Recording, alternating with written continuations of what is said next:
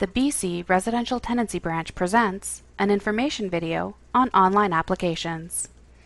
Did you know that British Columbia is the third largest province in Canada? It's bigger than all of the United Kingdom. In a province this vast, it can sometimes be a challenge getting to a government office for tenancy help. So it's a good thing with Residential Tenancy Branch allows you to access our services from the comfort of your home.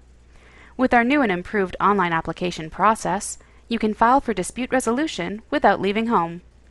To file online, all you need is an email account that you check daily, access to a computer, and access to a printer.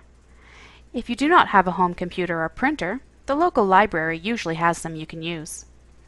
Filing an application is easy as one, two, three. Step 1. Register for a BC user account called BCeID. If you already have a BCeID account, you do not need to register again. Step 2. Complete your online application.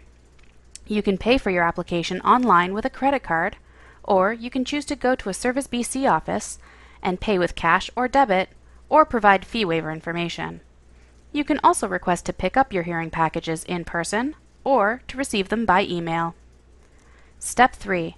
When you receive an email from the Residential Tenancy Branch, follow the instructions included.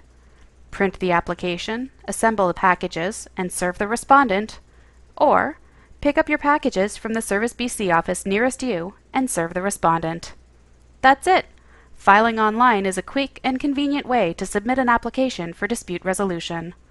For more information on filing an application online, visit our website at www.gov.bc.ca